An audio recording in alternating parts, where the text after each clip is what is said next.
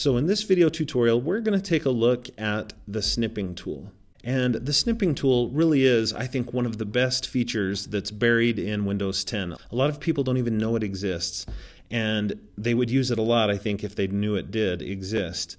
And what the snipping tool is for is it's for taking screenshots. It's for taking snapshots of things that you have on your computer and saving those for later so that you can use them, let's say, in a PowerPoint presentation or a Word document or whatever. So let's look at it. To activate the snipping tool, what you need to do is go down to the lower left corner of the screen and click on the Search Windows button and then just type in snipping.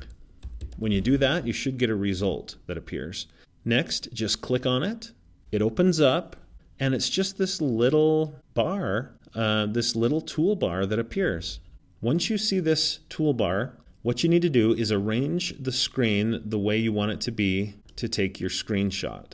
So let's say I want to take a screenshot of part of this article. Okay, I would just make it look the way I want to make it look, and that might include using Control minus, Control plus to make the text bigger or smaller. It might involve using this scroll bar to get the part of the article I would like to capture. But once I have it the way I want it to be, I use this toolbar from the snipping tool to click New. And notice that the color of the screen changed a little bit. It went kind of milky white.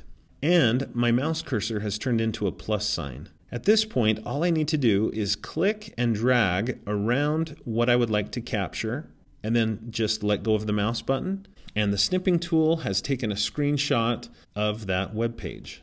Okay, there's the screenshot. And now if I want to, I can annotate on this. I can use a pen to draw on it. I can use a highlighter to highlight different parts of this image. I can delete if I need to delete. And then I simply click Save Snip.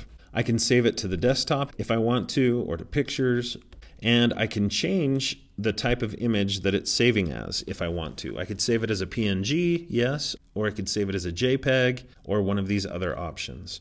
I am going to stick to PNG and I'll click Save. If I want to, I can change the name, but I'll just click Save.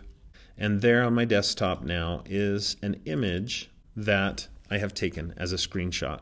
Now, if you really like the snipping tool, if you think you'll use this over and over, I highly recommend that next time you start it up to use it, you go down to the taskbar, right click on it, and choose Pin to Taskbar. That way, once it's closed, from then on, you should have access to the snipping tool. Quick access here on the bar, and you can just click on it to open it up. So I hope you'll enjoy using the snipping tool. Thanks for watching, and please consider subscribing to my YouTube channel for more videos about technology for teachers and students, and watch for a new video at least every Monday.